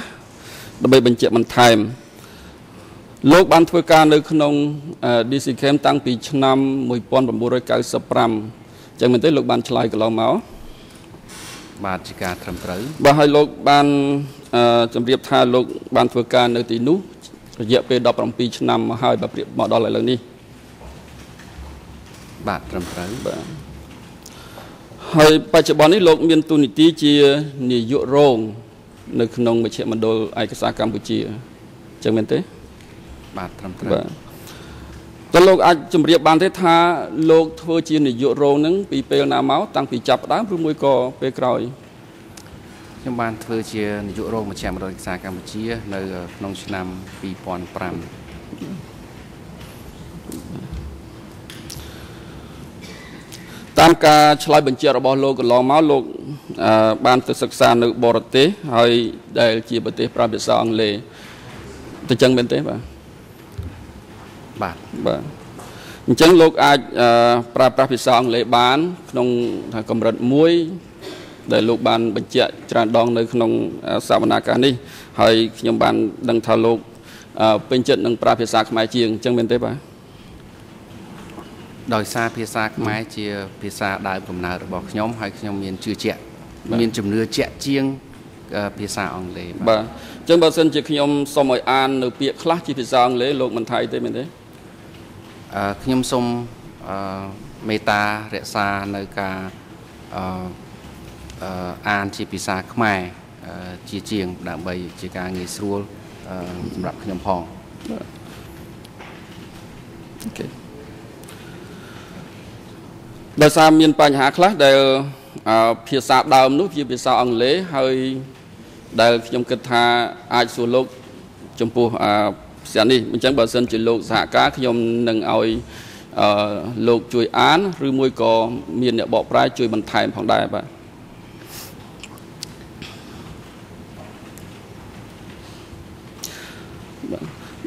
នេះខ្ញុំបាទសូមសួរអំពីប្រវត្តិរបស់ អង្គការរបស់លោកនិងមជ្ឈមណ្ឌលឯកសារកម្ពុជាអឺខ្ញុំបានឮថាអង្គការរបស់លោក បានចេញពីពីការិយាល័យមួយរបស់សាកលវិទ្យាល័យ Yale អញ្ចឹងមែនទេ បាទជាការត្រឹមត្រូវសូមលោកប្រាប់ឈ្មោះការិយាល័យនោះផងបានទេអឺជាការិយាល័យអឺ សិក្សាស្រាវជ្រាវអំពីអឺអំពើបលាយពុយសាសនៅកម្ពុជានេះជាបាទសូមបន្ថែមគឺនេះជាកម្មវិធីរបស់កម្មវិធីមួយនៃការសិក្សាស្រាវជ្រាវរបស់សាកលវិទ្យាល័យ Yale បាទអឺជាភាសាអង់គ្លេសមានន័យថាម៉េចដែរលោកអាចបញ្ជាក់បានទេអឺខ្ញុំបានឃើញនៅក្នុងឯកសារដែរគឺ គេប្រើពាក្យអឺអឺ Cambodia Genocide Program បាទបាទអញ្ចឹងអឺក្នុងដំណាក់កាលដំបូងនោះគឺអង្គការរបស់លោក មានប្រវត្តិជាឈ្មោះមួយថា Cambodian Genocide Program ជាភាសាអង់គ្លេសអញ្ចឹងអញ្ចឹងមែនទេបាទ ខ្ញុំគ្រាន់តែដឹងថាពេលចូលមកដល់ធ្វើការនៅឆ្នាំ1995គឺត្រូវបានហៅថាមជ្ឈមណ្ឌលឯកសារកម្ពុជាអឺសំទោសលោកបញ្ជាក់ថាមជ្ឈមណ្ឌលឯកសារកម្ពុជាហ្នឹងកើតឡើងនៅឆ្នាំ1995អញ្ចឹងមែនទេបាញ់មិញនេះខ្ញុំអត់បាននិយាយអញ្ចឹងទេ អញ្ចឹងលោកនិយាយថាម៉េចមុននឹងមិញខ្ញុំបាននិយាយថាពេលដែលខ្ញុំមកចូលធ្វើការនៅមជ្ឈមណ្ឌលនៅមជ្ឈមណ្ឌលឯកសារកម្ពុជានៅក្នុងឆ្នាំ95ហ្នឹងគឺកន្លែងហ្នឹងគេហៅថាមជ្ឈមណ្ឌលឯកសារកម្ពុជាបាទបាទសូមអរគុណ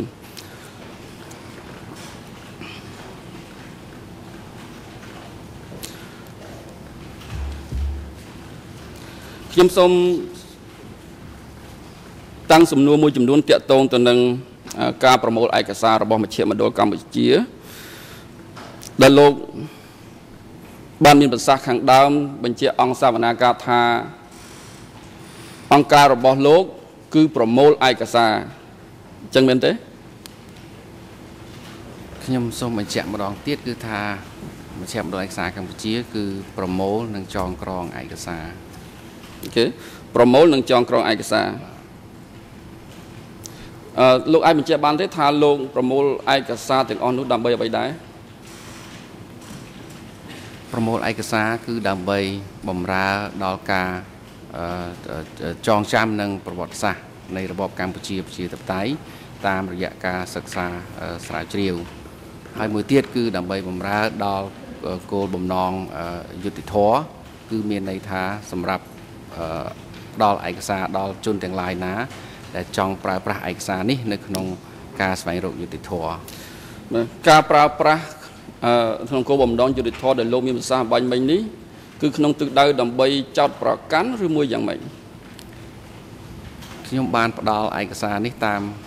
ការចង់បានរបស់អ្នកចង់បានបាទมันមានការចោតប្រកាន់អីនោះទេបាទ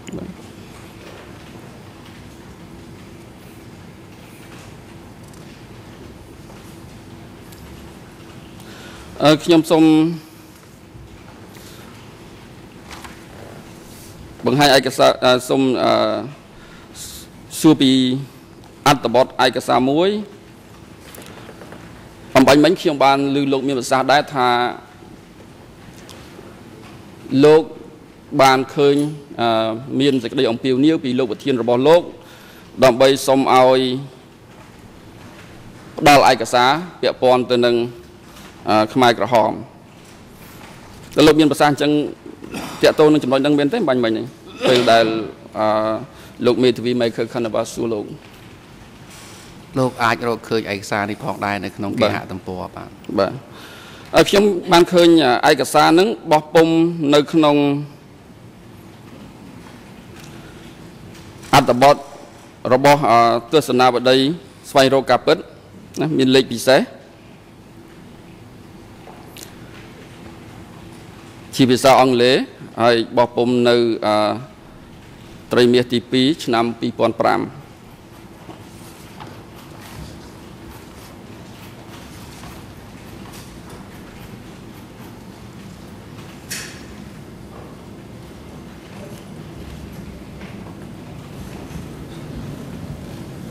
Mr. President, could we be showing the document that the gentleman is discussing? បញ្ញាបាទសូមឲ្យលោកមេធាវីបង្ហាញឯកសារនៅពេលដែលគាត់លើកឡើងយកមកពិភាក្សាជាមួយនឹងសាក្សីលោកមេធាវីសូមបង្ហាញអត្តសញ្ញាណឯកសារដើម្បីក្នុងការសួរទៅពាក់ព័ន្ធនឹងឯកសារសួរទៅសាក្សីដើម្បីមិញនេះយើងបានសម្រេចរួចហើយអំពីឯកសារគឺត្រូវមាន កាត់ការចាត់បញ្ចូលនៅក្នុងទំនុំរឿងតាមនីតិវិធីរវាងឯកសារផុសតាងដែលមាននៅក្នុងទំនុំរឿងស្រាប់និងឯកសារផុសតាងថ្មី ដែលត្រូវអនុវត្តតាមវិធានផុសតាងដែលមានចែងនៅក្នុងវិធាន87 4នៃវិធានផ្ទៃក្នុងប្រសិនបើឯកសារថ្មីដែលស្នើសុំគឺត្រូវស្នើសុំមុនដោយបង្ហាញតាម មូលហេតុទាំងឡាយដែលមានចែងនៅក្នុងវិធាន87 4នៃវិធានផ្ទៃក្នុងហើយក៏ពាក់ព័ន្ធផងដែរទៅនឹងវិធាន87 3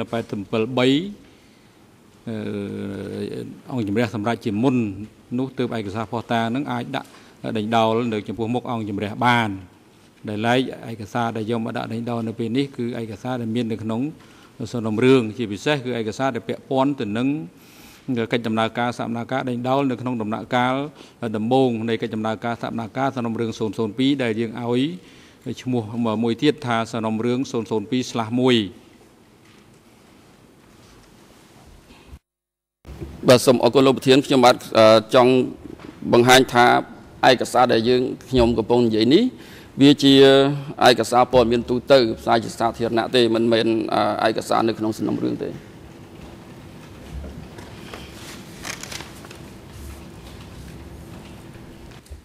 មិនពាក់ព័ន្ធទេឯកសារនោះយើងមិនអាចទៅដាក់ទទួលយកមកឲ្យដាក់ដេញដោលនៅពេលនេះទេ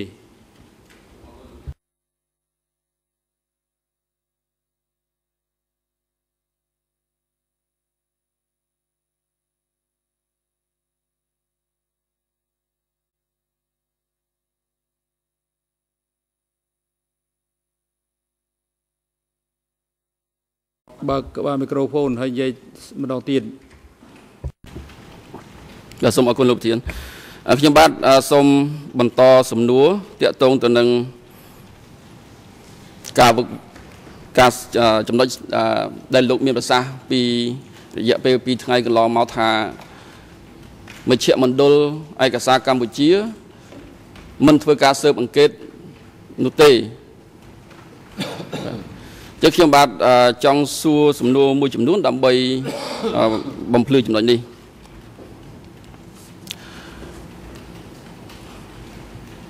សំណួរថាតើលោកអាចប្រមូលឯកសារដោយពិនិត្យទៅលើតម្លៃនៃឯកសារនោះដោយរបៀបណា បើសិនជាលោកមិនធ្វើការស៊ើបអង្កេតនោះ បាទសូមលោកមេធាវីមេថាសួរសំណួរឲ្យបានច្បាស់ជាងនេះបន្តិចបាទព្រោះបាទខ្ញុំខ្ញុំចង់សួរថាតើការប្រមូលឯកសាររបស់លោកនេះវាជាប់ពាក់ព័ន្ធទៅនឹងការស៊ើបអង្កេតដែរឬទេលោកអាចឆ្លើយបានទេខ្ញុំមជ្ឈមណ្ឌលឯកសារកម្ពុជាប្រមូលឯកសារគឺដើម្បីបំរើជូនដល់សាធារណជនទាំងអស់បាទអត់មានអឺ រើសអើងទេបាទបាទនៅបាទសំណួរសួរថាតើលោកទទួលស្គាល់ទេថាមជ្ឈមណ្ឌលឯកសារកម្ពុជា បានធ្វើការស៊ើបអង្កេត ចំពោះករណីដែលពាក់ព័ន្ធទៅនឹងខ្មែរក្រហមឬក៏កម្ពុជាប្រជាធិបតេយ្យមជ្ឈមណ្ឌលឯកសារកម្ពុជាមិនដែលប្រើប្រាស់ពាក្យថាស៊ើបអង្កេតទេបាទបាទ អត់ស្មោះគុណ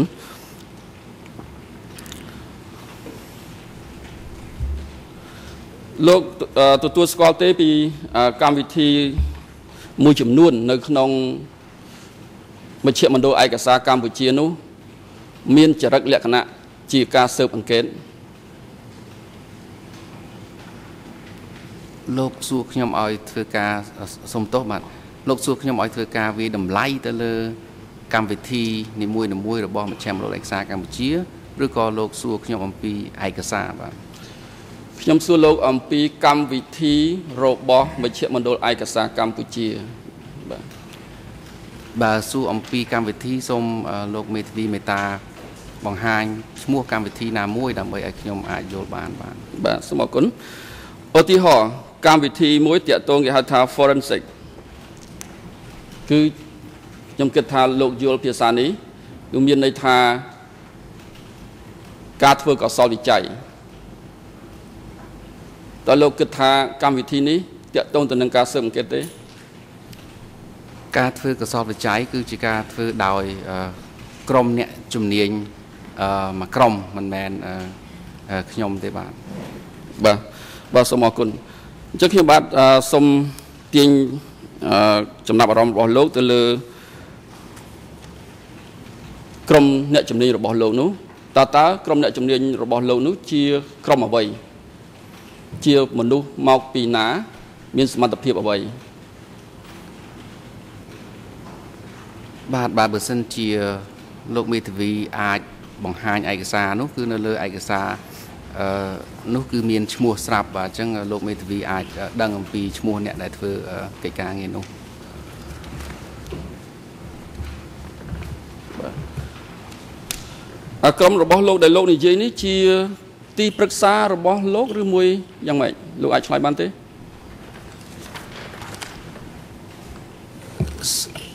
ជាថ្មីម្ដងទៀតបាទខ្ញុំសូមលោកមេធាវីបង្ហាញនៅឯកសារមួយនោះទៅដើម្បីឲ្យងាយស្រួលក្នុងការបានឃើញថាតើ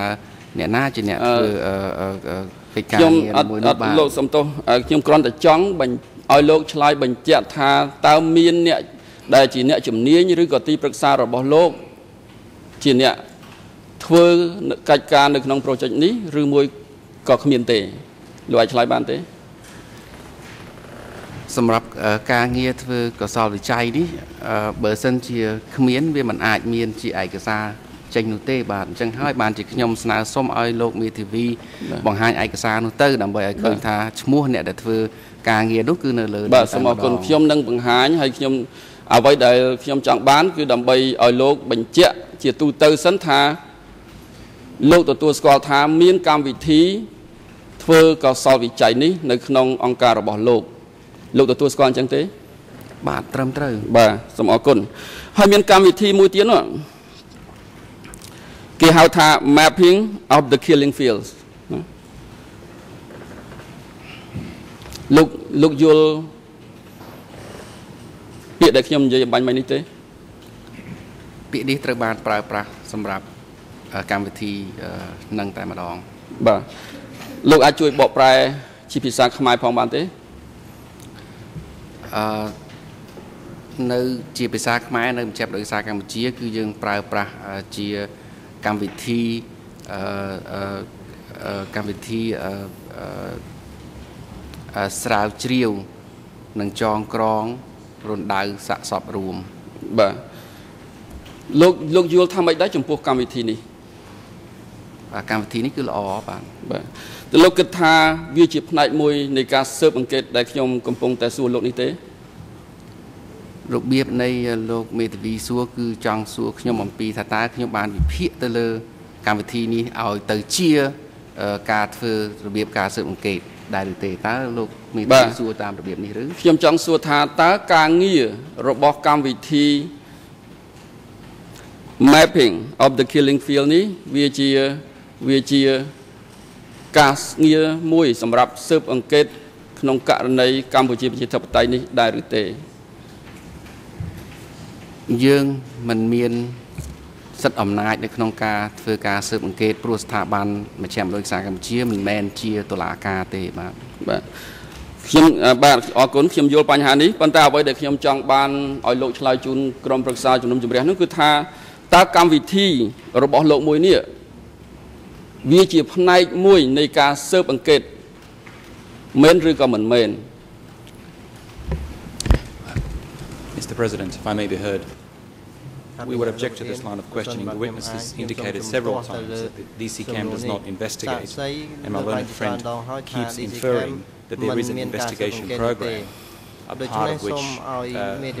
apparently he's alleging these activities are. Um, I think he should be directed to um, refrain from misleading the witness. The witness made it clear there was no investigation program.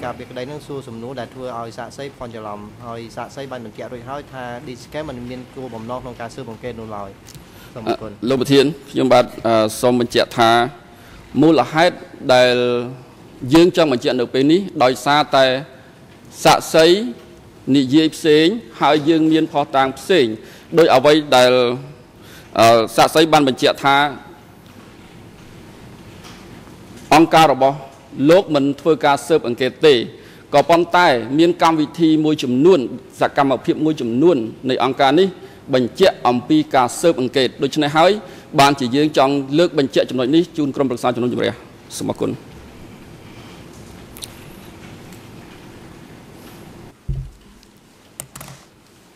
អឺជំទាស់មានប្រសិទ្ធភាពលោកអាចតាំងសំណួរ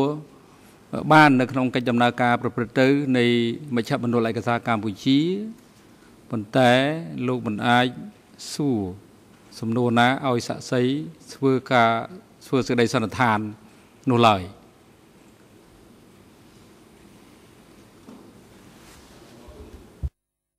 សូមអរគុណលោកធាន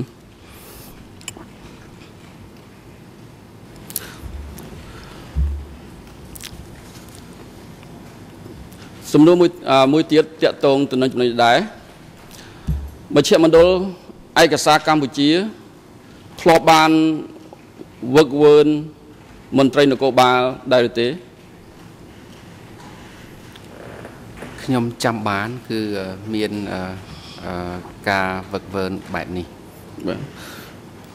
លោកបានដឹងច្បាស់អំពីកម្មវិធីនេះទេខ្ញុំមិនបានចូលរួមនៅក្នុងការធ្វើកម្មវិធីនេះទេប៉ុន្តែលោកបានគ្រប់គ្រងកម្មវិធីនេះទេអឺ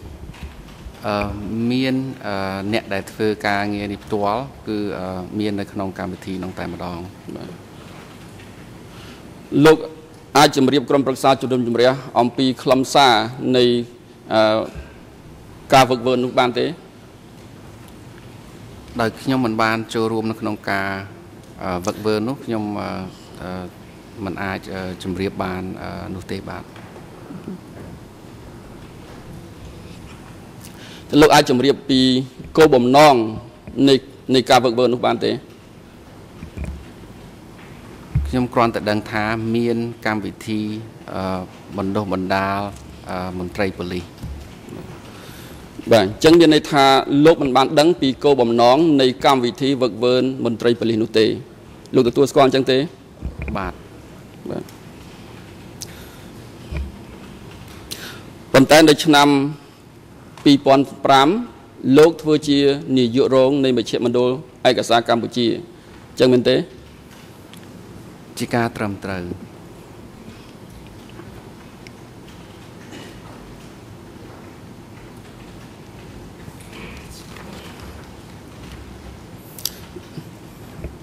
បាទសូមអរគុណឥឡូវខ្ញុំសូមអឺសួរលោកតាក់ទងទៅនឹងការទទួលឯកសារ ដែលលោកបានបញ្ជាក់ជូនអង្គសាវនាការច្រើនដងរួចមកហើយថាលោកបានធ្វើយថាភាពនៃឯកសារនោះតើលោកបានឆ្លើយថាលោកបានធ្វើយថាភាពអញ្ចឹងមែនទេ ចំពោះឯកសារទាំងឡាយដែលទទួលបាននៅមជ្ឈមណ្ឌលឯកសារកម្ពុជាបាទខ្ញុំបាននិយាយយ៉ាងដូចនេះមែនបាទ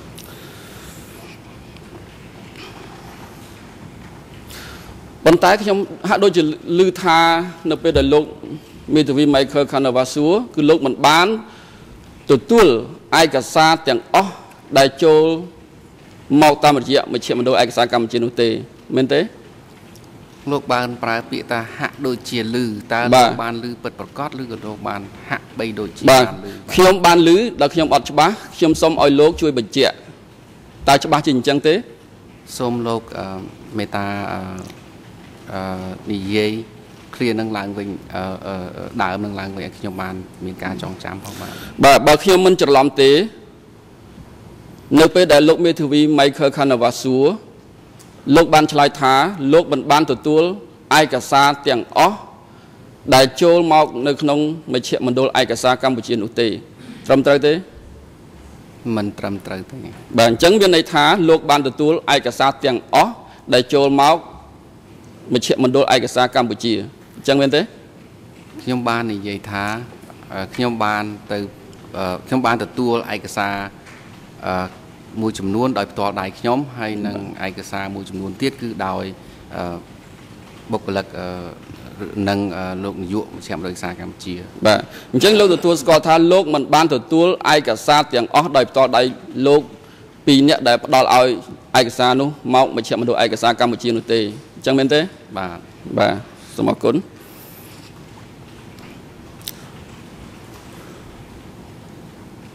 លោកបានឆ្លើយបញ្ជាក់ថាលោកបានសួរនៅសំណួរមួយចំនួនអំពីប្រភពនៃឯកសារទាំងនោះតើលោកបានសួរអញ្ចឹងមែនទេ ចំពោះ ឯកសារដែលខ្ញុំបានទទួលផ្ទាល់ដៃគឺខ្ញុំបានសួរបាទតើលោកសួរក្នុងលក្ខណៈបែបម៉េចដែរការតាំងសំណួររបស់លោក សំណួរដែលលោកសួរនោះ មានសំណួរអ្វីខ្លះលោកអាចជម្រាបជូន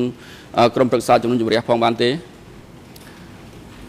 ជាធម្មតានៅពេលដែលខ្ញុំទៅទទួលឯកសារខ្ញុំតែងតែមានការងឿងឆ្ងល់ថាតើឯកសារទាំងអស់នោះ បានមកពីណាហើយបានមកយ៉ាងម៉េចហើយសំណួរបែបនេះដែលខ្ញុំតែងតែសួរអ្នកដែលបកគលឯកសារមកឲ្យយើង បាទសូមអរគុណអញ្ចឹងនៅពេលដែលលោកតាំងសំណួរគឺបានន័យថាលោកមិនបានផ្ដោតទៅលើឯកសារនីមួយនីមួយដែលលោកបានទទួលនោះទេគឺលោកសួរក្នុងលក្ខណៈជារួមអញ្ចឹងមែនទេព្រោះឯកសារយើងទទួលវាជាបណ្ដុំឯកសារ នោះយើងមិនបានសួរឯកសារនីមួយនីមួយនៅក្នុងបណ្ដុំឯកសារនោះទេ បាទសូមអរគុណអញ្ចឹងមានន័យថាលោកក៏មិនបានដឹង ពីប្រវត្តិនៃការទុកឯកសារនីមួយនីមួយមុនពេលដែលចូលមកដល់កន្លែងដែលលោកត្រូវទទួលឧទាហរណ៍នៅបណ្ឌសារឋានជាតិក៏លោកអត់បានដឹងថា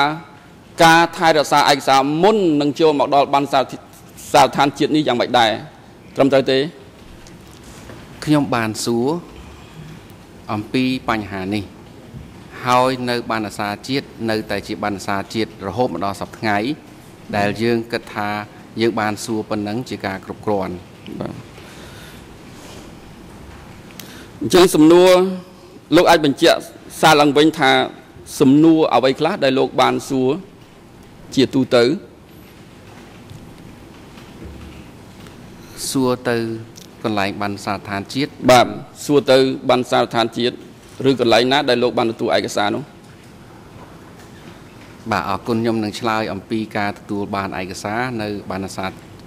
បានសារជាតិគឺខ្ញុំបានសួរថាតើឯកសារនោះបានមកពីណាហើយពីមុននៅកន្លែងណាបាទអញ្ចឹងលោក បានសួរថាឯកសារនោះបានមកពីណាហើយនៅកន្លែងណា តែពីសំណួរនោះទេ បាទជាការត្រឹមត្រូវបាទសូមអរគុណបាទឥឡូវមេធាវីឥឡូវនឹងដល់ពេលសំលមមនឹងជប់សម្រាប់ហើយអង្គជំរះប្រកាសសម្រាប់20នាទីចាប់ពី2នាទីទៅរហូតដល់ម៉ោង11សូមអញ្ជើញចូលវិញដើម្បីបន្តកិច្ចដំណើរការសកម្មភាពហើយមន្ត្រីតំណមរួលមន្ត្រីតុលាការជួយតំណមរួល ដល់សាក់សីដើម្បីមានកន្លែងសម្រាប់សំរុំហើយនឹងអញ្ជើញគាត់មកកាន់បន្ទប់សកម្មភាពនេះបានមុនអង្គជំរះចូលមកកាន់អាសនៈសូមអញ្ជើញលោកសូមអញ្ជើញលោកមេធាវីការពីក្តីនួនជាការពីក្តីអៀងសេរីសូមអរគុណលោកប្រធានសូមគោរពលោក លោកស្រីចាក្រមខ្ញុំបាទតាមរយៈខ្ញុំបាទហើយដោយសារលោកអៀងសេរី មានបញ្ហាសុខភាពជាពិសេសមានបញ្ហាឈឺចង្កេះទៅហើយដោយសារហេតុនេះគាត់មិនអាចអង្គុយនៅ ទីនេះតទៀតបានលោកអៀងសេរីសូមលះបង់សិទ្ធិចូលរួមសវនាការដោយផ្ទាល់នៅទីនេះសម្រាប់ថ្ងៃនេះទាំងស្រុងប៉ុន្តែសូមតាមដានសវនាការនៅបន្ទប់រងចាំខាងក្រោមអាស្រ័យនេះសូមលោកប្រធានមេត្តាសម្រេចសូមអរគុណ